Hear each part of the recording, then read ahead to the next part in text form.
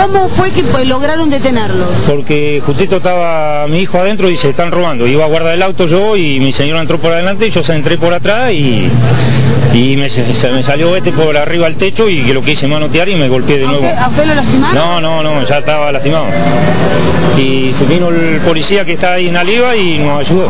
¿Había alguien dentro de la casa? El pibe más chico mío. Y que escuchó y Y vio escuchó y me llamó por teléfono justito que nos estaban robando la casa. y logró esconderse. Él se cerró, se cerró adentro de la habitación.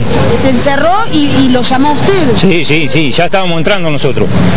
Entonces mi señora entró por la puerta de adelante y yo por atrás y pegó el grito y saltaron por la ventana de arriba, los techos los vecinos. Así que no saben si le han robado. No, ahora voy para casa y de ahora enseguida voy para la comisaría. Qué susto. Sí, el más chico, el, el susto mío. ¿Cuántos años tiene su hijo? 14 años. Reaccionó muy bien. Sí, sí, por suerte se encerró y no pasó nada. Por suerte. No, no, ¿por qué? Vamos a prenderla, vamos.